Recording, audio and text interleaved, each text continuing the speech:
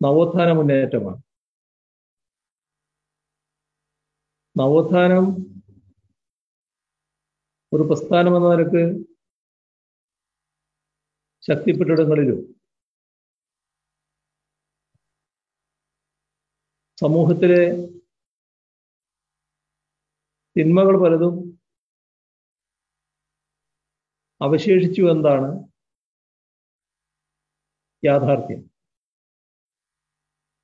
കേരളത്തെക്കാളും നവോത്ഥാന പ്രസ്ഥാനം ശക്തമായിരുന്ന ചില സംസ്ഥാനങ്ങളിൽ സാമൂഹ്യ തിന്മകൾ വലിയ തോതിൽ നിലനിൽക്കുന്നതായി നമുക്ക് കാണാൻ കഴിയും. എന്നാൽ കേരളത്തിൽ അത്തരം സാമൂഹ്യ തിന്മകൾ വലിയ തോതിൽ ഇല്ലാതാക്കാൻ നമുക്ക് കഴിഞ്ഞിട്ടുണ്ട്. ഒരു കാലത്ത് മനുഷ്യന് മനുഷ്യനെ തന്നെ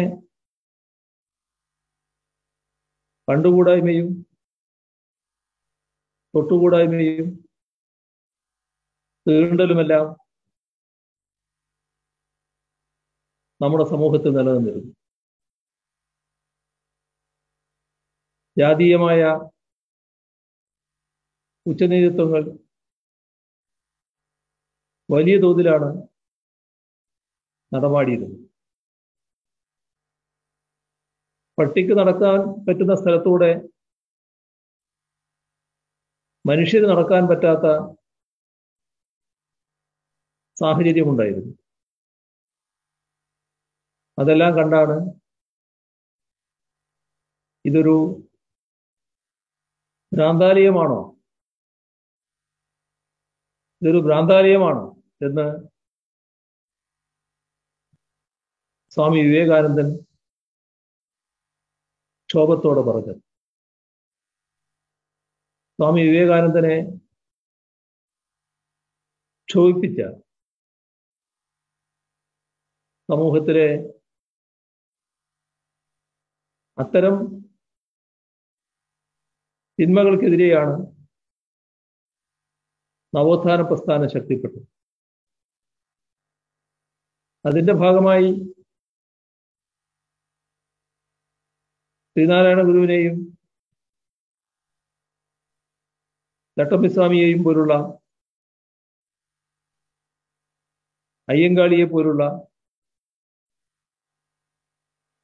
നേരത്തെ അയ്യ വൈകുണ്ഠനെ പോലുള്ള ഒട്ടേറെ സാമൂഹ്യ പരിഷ്കർത്താക്കൾ വിവിധ രീതിയിലുള്ള സാമൂഹ്യ തിന്മകൾക്കെതിരെ പോരാട്ടത്തിന് നേതൃത്വം നൽകി. മതമേതായാലും മനുഷ്യൻ നന്നായാൽ മതി. എല്ലാവർക്കും ഇവിടെ മതഭേദമോ ജാതിദ്വേഷമോ ഇല്ലാതെ സോദരത്വേന വാഴാൻ കഴിയും എന്ന നില ഉണ്ടാക്കുന്നതിനാണ് ശ്രീനാരായണ ഗുരുവിന്റെ നേതൃത്വത്തിലുള്ള നവോത്ഥാന പ്രസ്ഥാനം ശ്രമിച്ചത്. ആ നവോത്ഥാനത്തിന് നമ്മുടെ സംസ്ഥാനത്ത് ശക്തമായ പിന്തുടർച്ചയുണ്ടായി. ദേശീയ പ്രസ്ഥാനവും ഇടതുപക്ഷ പ്രസ്ഥാനവും നവോത്ഥാന പ്രസ്ഥാനത്തിന്റെ മുദ്രാവാക്യങ്ങൾ ഏറ്റെടുത്തു. അതിന്റെ ഭാഗമായി വലിയ തോതിലുള്ള ഇടപെടലുകൾ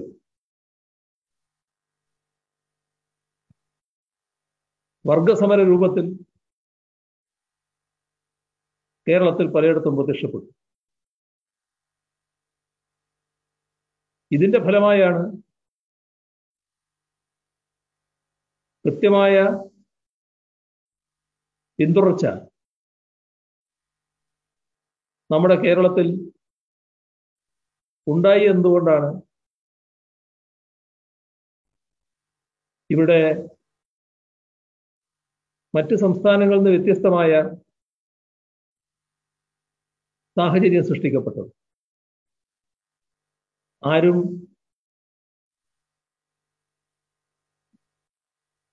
വലിയ തോതിൽ പ്രശംസിക്കുന്ന ഒരു സാമൂഹ്യ അന്തരീക്ഷം കേരളത്തിൽ സംജാതമായി. ഇവിടെ ശ്രദ്ധിക്കേണ്ട ഒരു കാര്യം നവോത്ഥാന കാലത്ത് തന്നെ ശ്രീനാരായണ ഗുരു വിദ്യാഭ്യാസത്തിന് വളരെ പ്രാധാന്യം കൊടുത്തിരുന്നു അതിന്റെ ഭാഗമായ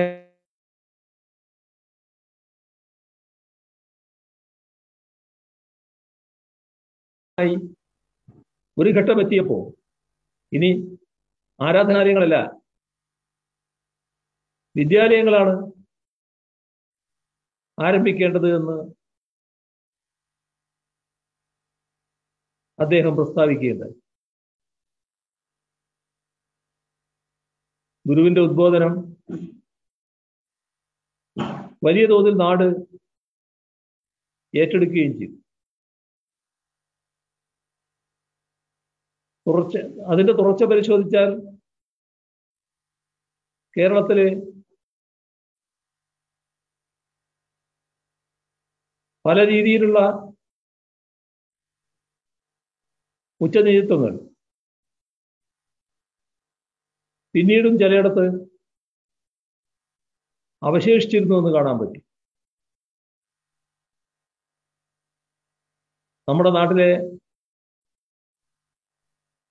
കർഷകരും കർഷക തൊഴിലാളികളും തൊഴിലാളികളും എല്ലാ അധ്വാനിക്കുന്ന വിഭാഗവും ഇത്തരം കാര്യങ്ങളിൽ കൃത്യതയോടെ ശരിയായ മുദ്രാവാക്യം ഉയർത്തി രംഗത്ത് വന്നു. അങ്ങനെയാണ് ഇന്ന് കാണുന്ന കേരളം സൃഷ്ടിക്കപ്പെടുന്നു എല്ലാവരും ജാതിമത ഭേദമന്യേ. ഒന്നിച്ചു നിന്ന് വിവിധ മാറ്റങ്ങൾക്ക് വേണ്ടി ശ്രമിച്ച ചരിത്രമാണ് കേരളത്തിൽ കാണാൻ കഴിയുന്നത്. ഇവിടെ ഉണ്ടായ മാറ്റങ്ങൾ പരിശോധിച്ചാൽ നമുക്ക് കാണാൻ സാധിക്കും. ഇത്തരത്തിലുള്ള യോജിച്ച നീക്കങ്ങളുടെ ഭാഗമായാണ്. അതെല്ലാം യാഥാർത്ഥ്യമായത്. മണ്ണിൽ അധ്വാനിക്കുന്ന സാധാരണ കർഷക തൊഴിലാളിയും കൃഷിക്കാരും നേട്ടങ്ങൾ നേടിയത് കൂട്ടായി നിന്ന് പ്രവർത്തിച്ചതിന്റെ ഭാഗമായാണ്. നമ്മുടെ നാട്ടിൽ അതിന്റെ ഭാഗമായുള്ള മാറ്റം വലിയ തോതിൽ പ്രകടമായി. ആയിരത്തി തൊള്ളായിരത്തി അൻപത്തി ആറിലാണ് ഇന്നത്തെ നമ്മുടെ ഈ കേരളം രൂപം കൊള്ളുന്നത്. കേരളത്തിന്റെ ആദ്യ തെരഞ്ഞെടുപ്പ് ആയിരത്തി തൊള്ളായിരത്തി അൻപത്തി ഏഴ് ഏപ്രിലാണ് നടന്നത്. ആ തെരഞ്ഞെടുപ്പിന് ശേഷം കേരളത്തിൽ അധികാരത്തിൽ വന്ന ഇ എം എസിന്റെ നേതൃത്വമുള്ള ഗവൺമെന്റ് കേരളത്തിലെ ഇന്ന് കാണുന്ന എല്ലാ നേട്ടങ്ങൾക്കും വികസനങ്ങൾക്കും അടിത്തറയിട്ടൊരു ഗവൺമെന്റ് ആയിരുന്നു. അതിലേറ്റവും പ്രധാനം കേരളത്തിലെ വിദ്യാഭ്യാസ രംഗത്ത് വന്ന മാറ്റമാണ്. സാർവത്രിക വിദ്യാഭ്യാസത്തിനായി എല്ലാ പ്രദേശങ്ങളിലും സ്കൂളുകൾ അനുവദിക്കുന്ന നില വന്നു. അതിന്റെ ഫലം നമുക്കെല്ലാവർക്കും നടന്നെത്താവുന്ന ദൂരത്ത് വിദ്യാലയങ്ങളുണ്ടായി. ഒരു പാവപ്പെട്ട കുടുംബത്തിലെ കുട്ടിക്ക് ആ കുട്ടി ആഗ്രഹിക്കുന്നിടം വരെ പഠിച്ചുയരാനുള്ള സാഹചര്യം ഇവിടെ ഉണ്ടായി. അതിന്റെ ഭാഗമായി ആൺപെൺ വ്യത്യാസമില്ലാതെ കേരളത്തിലെ എല്ലാ കുടുംബങ്ങളിലെയും കുട്ടികൾ വിദ്യാഭ്യാസം നേടുന്ന അവസ്ഥ വന്നു. വലിയ മാറ്റം അതിന്റെ ഭാഗമായി കേരളീയ സമൂഹത്തിൽ സൃഷ്ടിക്കപ്പെട്ടു. ഇന്ന് കേരളത്തിലെ ജനങ്ങൾ കേരളീയർ കേരളത്തിൽ മാത്രം ജീവിക്കുന്നവരല്ല. ലോകത്തിന്റെ എല്ലാ ഭാഗങ്ങളിലും കേരളീയരുണ്ട്. നമ്മുടെ കുടുംബങ്ങളെ എടുത്താൽ നല്ലൊരു ഭാഗം ആളുകൾ കേരളത്തിന് പുറത്ത് രാജ്യത്തിന് പുറത്താണ്. ഇത് ലോകത്തിന്റെ ആകെ ഇന്നത്തെ കാലത്ത് വന്നിട്ടുള്ള മാറ്റങ്ങൾ ഉൾക്കൊള്ളുന്ന ഒരു സമൂഹമാക്കി കേരളത്തെ മാറ്റിയിട്ടുണ്ട്. ഇതിന്റെ കൂടെ നമ്മുടെ നാടിന്റെ ശാപമായിരുന്ന തിന്മകളിൽ ഒന്നായ സ്ത്രീകളെ ഒറ്റപ്പെടുത്തുകയും പ്രത്യേക രീതിയിൽ അടിച്ചമർത്തുകയും ചെയ്യുന്ന സമീപനത്തിനെതിരെയുള്ള വലിയ തോതിലുള്ള പ്രക്ഷോഭങ്ങളും പോരാട്ടങ്ങളും ഉയർന്നു വന്നു എന്ന് കാണാൻ നമുക്ക് കഴിയും. അതിന്റെ ഭാഗമായുള്ള നിയമങ്ങൾ വലിയ തോതിൽ രാജ്യത്ത് രൂപപ്പെട്ടിട്ടുണ്ട് ഒരു കാലത്ത്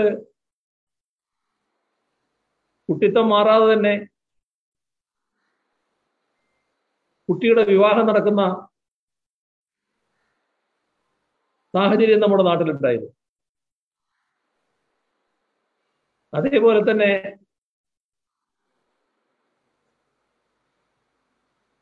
ഏതെങ്കിലും കാരണവശാൽ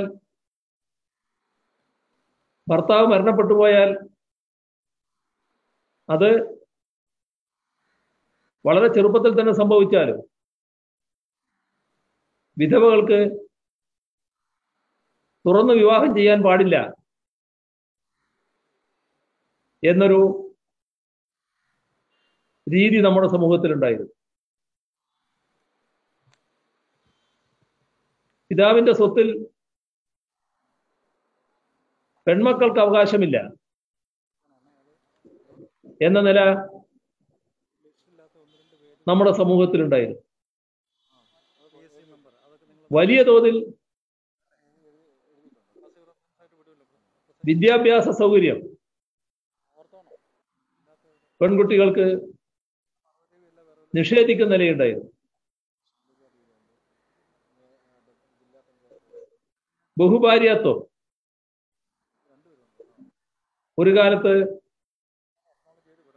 വലിയ തോതിൽ നമ്മുടെ സമൂഹത്തിലുണ്ടായിരുന്നു. ഇതിനെല്ലാം എതിരെയുള്ള വലിയ പ്രക്ഷോഭം നമ്മുടെ സമൂഹത്തിൽ ഓരോ ഘട്ടത്തിലും ഉയർന്നു വന്നിട്ടുണ്ട്. അതിന്റെ ഭാഗമായി മാറ്റങ്ങളും സംഭവിച്ചു. ഊരൂട്ടമ്പലത്ത് പകുതി കത്തിയ ഒരു ബെഞ്ച് ഇപ്പോഴുമുണ്ട്. തിരുവനന്തപുരത്ത്. അത് അവിടെ പഞ്ചമി എന്ന പെൺകുട്ടിയെ പഠിപ്പിക്കില്ല. എന്ന നിലപാട് അക്കാലത്തെ സവർണ മേധാവികൾ സ്വീകരിച്ചപ്പോ ആ പഞ്ചമിയുടെ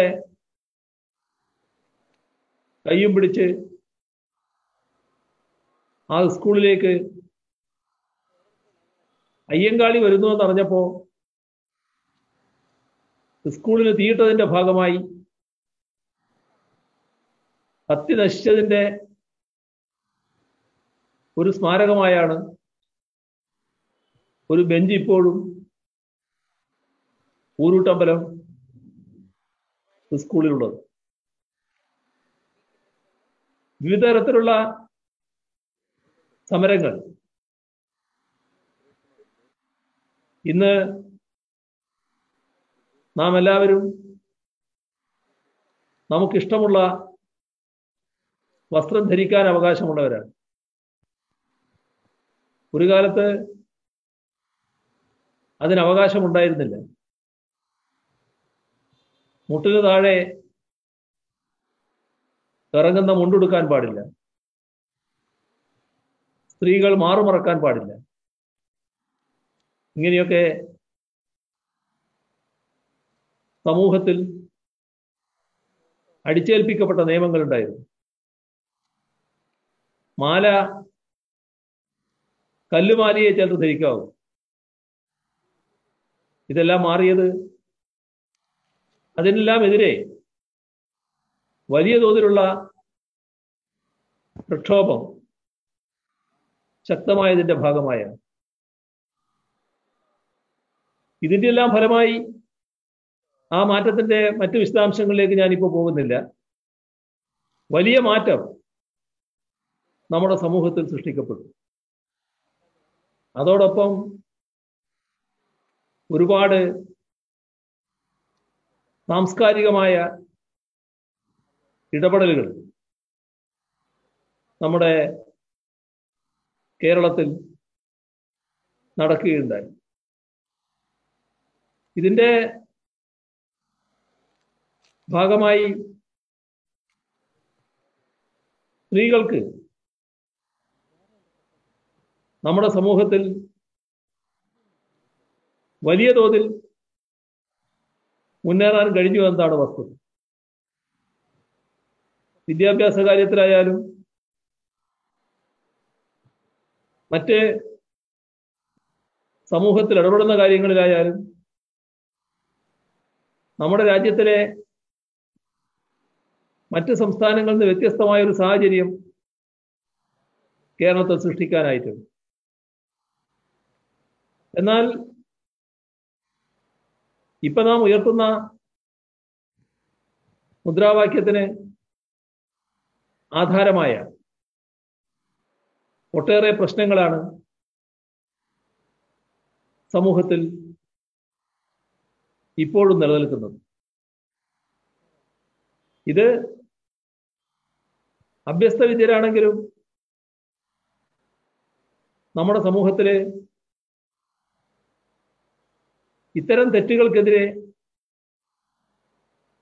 ശബ്ദിക്കുന്നതിന് കഴിയാത്തൊരവസ്ഥയിലേക്ക് പലരും എത്തുന്നു എന്നത് നാം തിരിച്ചറിയേണ്ടതായിട്ടുണ്ട്. അതിന്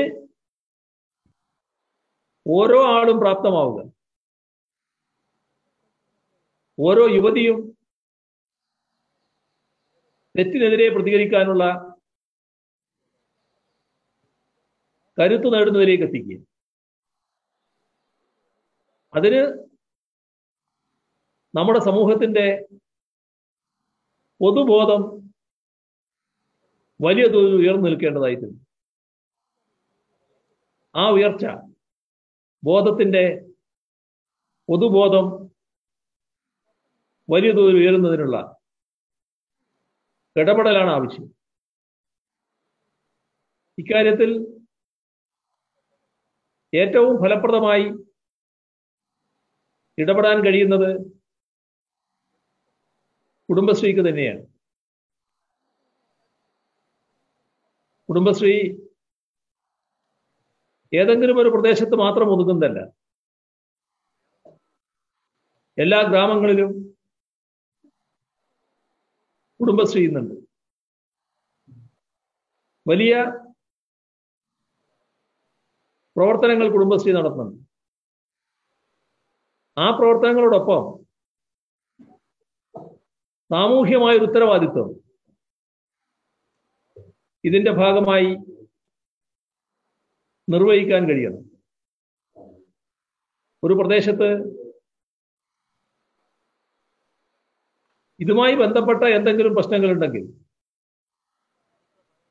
അക്കാര്യത്തിൽ കുടുംബശ്രീയുടെ ഇടപെടൽ വരണം. സമൂഹത്തിലെ ഇത്തരം തിന്മകൾക്കെതിരെ ശബ്ദമുയർത്താൻ തയ്യാറുള്ള ഒട്ടേറെ ശക്തികളുണ്ട്. അവരുടെ ശ്രദ്ധയിൽ കൊണ്ടുവരാനും കഴിയും. അതിന്റെ ഭാഗമായുള്ള ഇടപെടലുകൾ വരണം. അത് വിവാഹ ആലോചന ഘട്ടത്തിൽ തന്നെ തുടങ്ങണം. വിവാഹാലോചന ഘട്ടത്തിൽ സ്ത്രീധനവുമായി ബന്ധപ്പെട്ട പ്രശ്നങ്ങൾ ചർച്ച ചെയ്യുന്നുണ്ടെങ്കിൽ അതിനെതിരെ പ്രതികരിക്കാനാവണം. വിവാഹശേഷം സ്ത്രീധനവുമായി ബന്ധപ്പെട്ട ഏതെങ്കിലും പ്രശ്നങ്ങൾ ഉയർന്നു വരുന്നുണ്ടെങ്കിൽ അതുമായി ബന്ധപ്പെട്ട കാര്യങ്ങളിൽ കുടുംബശ്രീക്ക് ഇടപെടാം. അതോടൊപ്പം നാടിനെയാകെ ഇടപെടിക്കാനുള്ള ശ്രമവും നടത്താം. അപ്പോ ഈ ബോധവൽക്കരണം ഈ ദിവസങ്ങളിലുള്ള ബോധവൽക്കരണം മാത്രമായിട്ട് നിന്നാൽ പോരാ.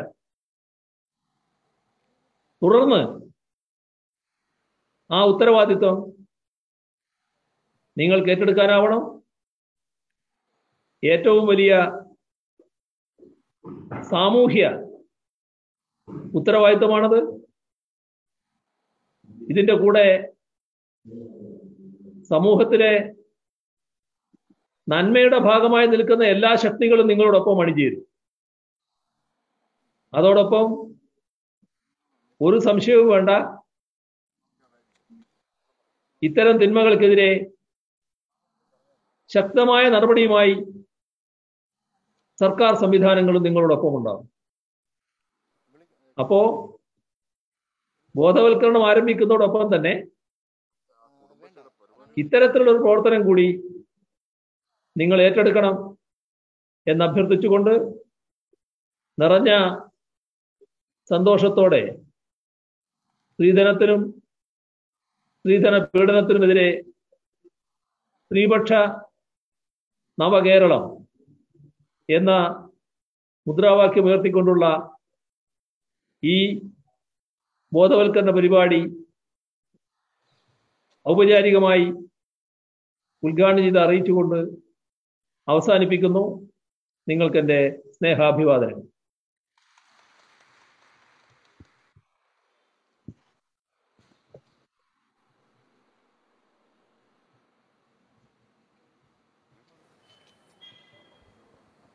വേദിയിലും സദസ്സിലുമുള്ള വിശിഷ്ട വ്യക്തികളെ ഇന്നത്തെ സ്ത്രീപക്ഷ നവകേരളം എന്ന ഈ ക്യാമ്പയിൻ